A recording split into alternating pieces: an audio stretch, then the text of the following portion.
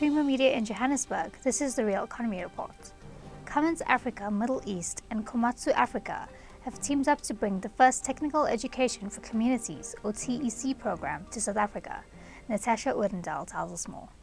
The companies have inaugurated a new TEC curriculum at the Sedibeng Technical and Vocational Education and Training College in Sebokeng.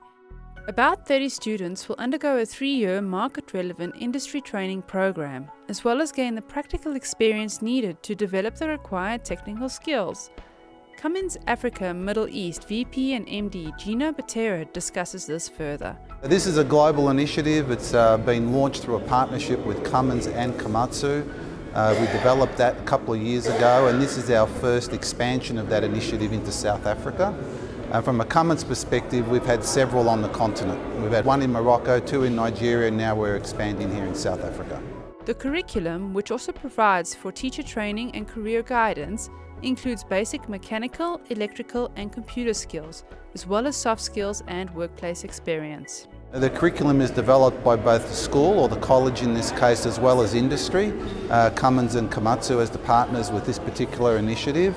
So working together, we believe the curriculum really fits the needs of the students and obviously the employers when they come out of this program. Uh, I think the fact that we've been able to you know, go through a very robust selection process and identify the students that have the capability and the want to learn and be a part of either the technical or vocational uh, training initiative has also made it a very unique program. Uh, we're in this for the long haul. It's a three-year partnership, you know, and uh, not only the monetary investment, but also the investment of our products, our people's time, to ensure that this is a success. This will culminate in opportunities for internships at the companies for a selected number of students, Komatsu Africa MD Mike Blom weighs in. If we have a look at the, the industry that we operate in, it's really a challenge, and I think that you know it's a combination of, of um, education uh, in terms of the communities where we have our operations to draw from those communities. Um, the basic schooling is not the best in some a lot of these regions, and that gives us quite a big challenge, you know, to try and uh, bring people into our apprenticeship programs. This is a really nice gap between getting guys into our apprenticeship programs, and it bridges that gap quite nicely. We still run an extensive um, uh, apprenticeship program program uh, throughout the country, but um, it's very important that we try and bridge the gap between that school and coming into the apprenticeship.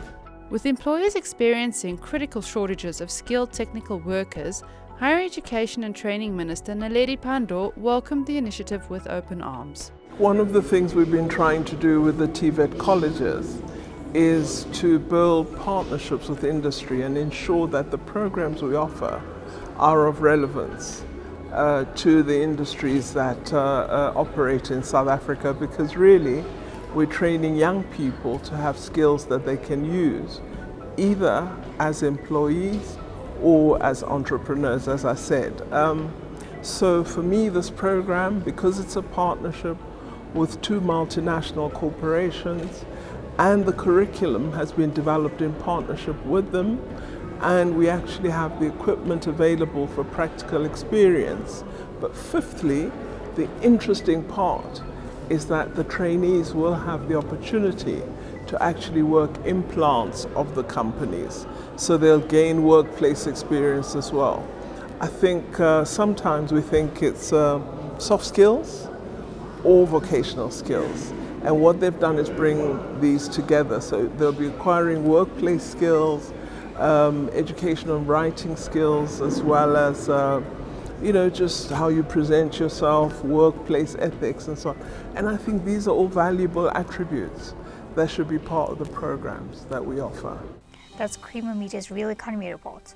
Join us again next week for more news and insights into south africa's real economy